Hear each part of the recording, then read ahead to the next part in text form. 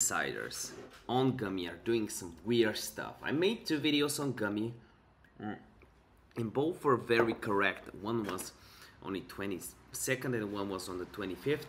I said we pump here, we pumped over 70%, maybe 100%. This is what I would have taken profit. And then I said we would dump because they want to dump 600 grand. But two dudes, they did dump 30% crash. So the question is, what happens now? Because I had a, a, few things drawn out less uh, in the last video, and uh, I want to show you some interesting stuff. So this video is no financial advice. When you go, uh, you probably see that there is an insider that bought in early and is sold, selling different pairs uh, of tokens. One of which is actually Gummy. You can see a lot of Gummy sales right here. Sell, sell, sell. It's basically selling a little bit every 12 hours or so.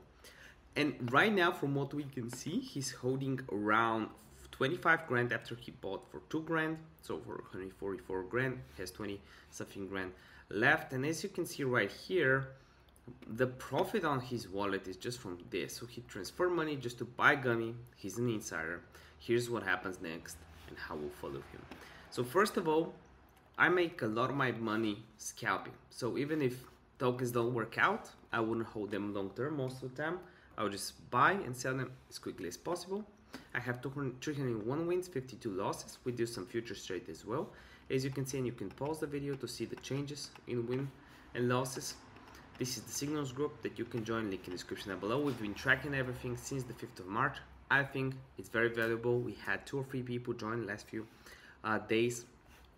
Also, if you want to learn from me, I made it super accessible. There's a discount on my course for just 97 bucks.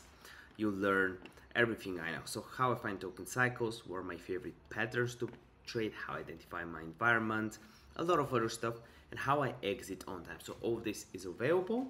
Links in the description below. I do a lot, mostly DEX pairs, but now we have a lot of futures trades as well, especially to hedge these dumps. And we have some insane profits. You can see four wins in a row. Uh, here are the targets because you can see the wins, but here is when we open them and the targets. Uh, there was a quick 600 bucks.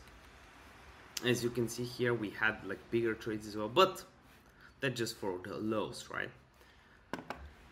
So look um it's not a bad time particularly bad time to buy gummy but my issue is that whales are dumping so the only scalp i see for gummy is when we drop to here if i buy here for a 6% scalp that's the only trade i would do given having in mind the fact that insiders are selling.